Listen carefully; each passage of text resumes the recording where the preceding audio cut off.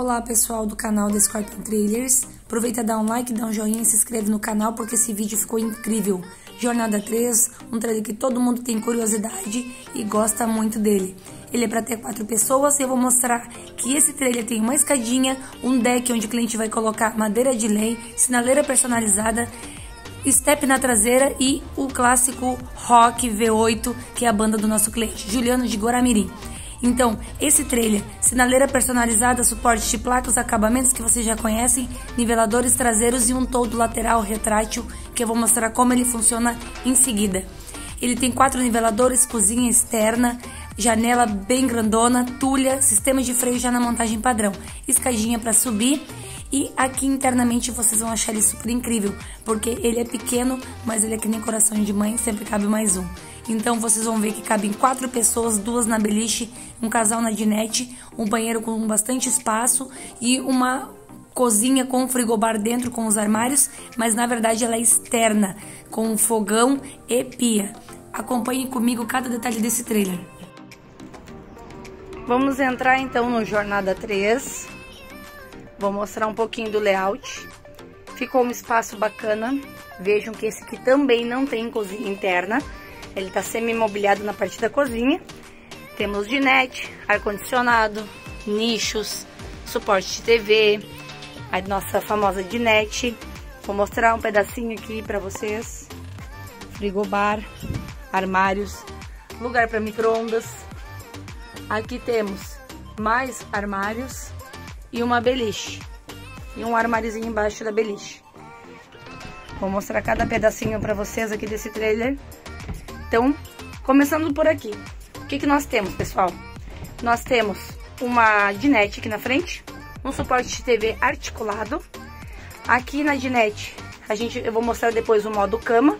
Então, tem como uh, tem assento no lado de lá, tem assento dos dois lados. Esse aqui é para quatro pessoas, mas vejam que o espaço ficou bacana, dá para mais pessoas usar também. Ar-condicionado 9000 BTUs, quente e frio. Aqui nós temos um nicho com iluminação interna em âmbar. O nosso voltímetro com carregador USB já para usar dentro do nicho. Aqui nós temos disjuntor especial para o ar-condicionado, porque esse cliente tem bateria estacionária, inversor, e o ar-condicionado não é suportado uh, pelo inversor que a gente está usando, tá? Aqui, na parte que seria a nossa cozinha, o pessoal pergunta muito, da cozinha interna.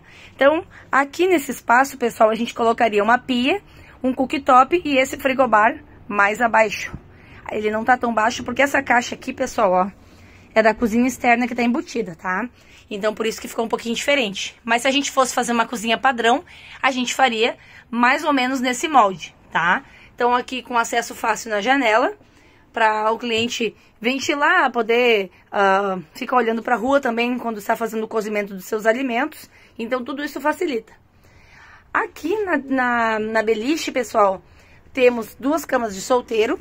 Temos aqui um compartimento para guardar objetos. Aqui estão as manivelas do todo, antena de TV e dos niveladores.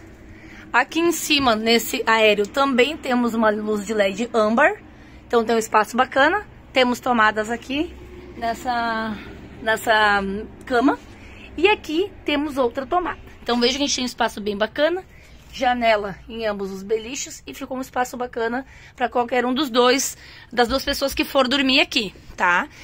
Aqui em cima a gente tem dois climatizador 12 volts, então vai ficar super bem ventilado, não tem necessidade de ter clarabóia. E o ar-condicionado, quando ele tiver suporte de energia, ele vai usar. O que que esse cliente optou em ter climatizador e ar-condicionado? Como ele vai para competições em lugares de mata, o que que vai acontecer? Ele vai usar os climatizadores lá. Quando ele for por camping, ele vai usar o ar-condicionado. Então ele vai ter, que nem no mini trailer a gente tem a possibilidade de ter as duas, os dois usos, né, de ser híbrido, aqui a gente também tem essa possibilidade, tá? Então, vou dar mais um, uma olhadinha aqui no layout com vocês, ficou bem bacana. E vejam, pessoal, que esse banheiro ficou super grande, tá? Então, vou mostrar o banheiro pra vocês. Aqui no banheiro, pessoal, o que, que nós temos? aquecedor de passagem a gás, uma pia que ficou bem bonita aqui no cantinho, um armário, assim como o restante dos móveis em compensado naval. E aqui embaixo, pessoal, nós temos o espaço para o porta-pote. Então, ele tá até embaladinho aqui, porque o cliente vai abrir a hora que chegar para pegar. O que, que a gente faz? Deixa eu só virar ele aqui. A gente coloca o porta-pote aqui embaixo, né? Encaixadinho aqui. E aqui, pessoal, a gente toma banho, tá? Então, a gente tem um chuveiro de... Uh, esqueci o nome agora. A gente tem esse chuveiro de barra, lembrei, de barra, tá? Pra tomar o banho. Separado da nossa torneira da pia. O primeiro Jornada 3 a gente fez com a própria torneira da pia, ducha, igual da cozinha que a gente usa nos mini trailers, fez aqui pro banheiro. Então aqui a gente fez individual, ficou bem bacana. É, com aquecedor de passagem, melhor ainda. Ao invés de clarabóia, pessoal, janela com abertura total, tá? E aqui as luzinhas, que ficou bem charmoso esse banheiro, eu adorei, tá? Então, o que, que a gente faz aqui? Modo banho, e quando for para usar o porta-pote, né, pessoal? A gente vira ele aqui e ele fica aqui no lugarzinho que a gente precisa para fazer as nossas necessidades, tá? Então, ficou um banheiro de um metro e meio, bem grandão. O cliente queria um banheiro bem grande, então a gente conseguiu fazer. Dá para colocar box aqui também, se caso vocês queiram colocar um box para separar, daí a gente faz uma abertura de porta para fora, tá? Ou numa montagem para casal, a gente consegue estender o banheiro até o final e fazer uma cozinha aqui e aqui fazer uma mesinha de apoio para dobrar, para daí comer, né? E fazer uma cama inteira. Não há necessidade de sempre ter a dinette, tá? Eu vou mostrar o modo cama para vocês agora. Então, pessoal, aqui no modo cama, a gente tira a base de apoio da dinette. A gente coloca a mesa aqui nessa parte e embaixo dessa tulha a gente coloca um outro pedaço para fazer a montagem da dinette. Então aqui pode ver que a gente suprimiu e ali a gente tem a base de apoio para fazer a cama. Essa cama, a pedido do cliente, ela ficou com uma cama de 1,40. Então veja que ficou uma cama bem grandona. E uma cama grande dentro do trailer, qualquer uh, centímetro a mais, né, que a gente colocar no trailer, já ajuda para deixar ele mais confortável. Então, se o cliente quiser uma cama menor, ele vai ter mais espaço dentro do trailer. Então, montagem para casal é diferente, tá? Então, a gente consegue modificar a montagem para casal, por exemplo, uh, colocar o banheiro no fundo, colocar o banheiro mais para trás, enfim, tem várias possibilidades quando for para casal. Para quatro pessoas, como a nossa porta fica aqui nessa posição, na traseira do trailer, a gente precisa uh, ter né, as camas ao fundo, não tem como a gente fazer outra montagem. Mas vejo que ele ficou bem bacana, ficou um espaço bom. Aqui a gente tem um corredor longo, um espaço longo, então não ficou nada muito apertado. Aqui a gente tem um frigobar de 45 litros, pessoal. Vou mostrar aqui. Então, vou abrir aqui para vocês olharem. Ele tá preso. É o mesmo frigobar do mini trailer, o cliente quis botar um menor. Aqui embaixo a gente tem mais um armário, tá? Bem grandão o espaço para o micro-ondas que o cliente pediu. E aqui, pessoal, a gente tem, ó, aqui tem os manuais do trailer, né? Os controles remotos. Então aqui a gente tem mais um armário com compartimento para poder usar. Além dos dois aéreos, aqui a gente tem um pedido especial para o cliente. A gente tem a tulha, vou mostrar aqui, vou tirar o modo cama para vocês olhar. Então aqui a gente tem uma tulha ó, com suporte da cama ali, da, da mesa, perdão. Vou mostrar pra vocês o outro compartimento que a gente tem ali.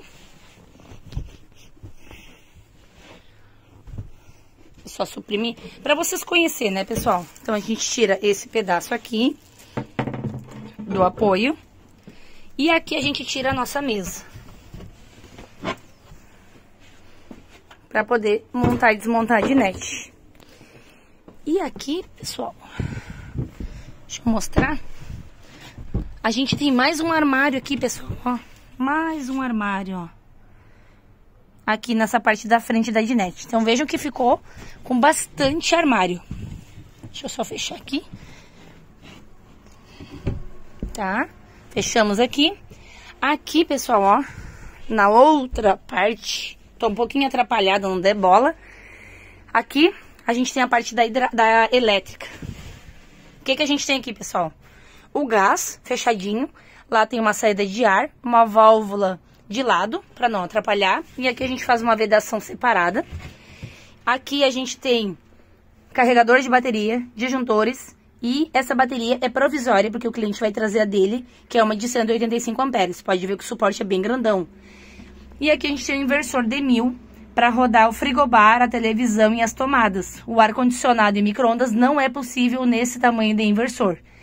E aqui a gente tem o chicote para ligar o inversor, tá? Então veja que ficou espaço bem bacana aqui. Dá para colocar bastante coisa, ferramenta, extensão, mangueira, tem bastante coisa para usar. Agora, pessoal, eu vou mostrar o lado externo para vocês. Aqui, pessoal, a gente tem no lado externo a nossa escadinha para subir no trailer sapatas niveladoras, então a gente tem quatro. E aqui a gente tem a cozinha externa. Então o cliente optou em colocar essa cozinha externa. Temos um cooktop, uma pia e aqui a gente tem uma torneira desmontável. Então a gente tira ela aqui, bota dentro da pia e recolhe a, a nossa cozinha externa. Ficou tudo em compensado naval, combinando com o layout interno. Ficou bem bacana. Então tem como fazer em MDF na parte interna e tem como fazer em compensado. O compensado tem uma maior durabilidade, como a gente sempre salienta, uma maior durabilidade uh, da madeira, né? Em função de umidade e tudo mais. Mas aqui na cozinha externa a gente usa o compensado naval, independente da escolha interna do cliente, tá? Mas assim, ó, tem a opção de colocar a cozinha dentro, a cozinha fora. Vocês já viram o espaço da, da cozinha na parte de dentro. Aqui uh, inviabiliza colocar cozinha interna e externa, tá? Então a gente tem que optar por uma ou por outra. E aí a gente colocou aqui para o lado de fora uh, que o cliente escolheu para não ter cheiro dentro do trailer. Eu vou mostrar um outro detalhezinho para vocês lá no outro lado. Aqui na frente, pessoal, a gente tem sistema de freio como item de série do Jornada 3. Aqui a gente não tem a tulha na frente, a gente tem uma condensadora de ar né? Então a, a gente preferiu colocar ela sozinha aqui na frente para que não tenha barulho dentro do trailer.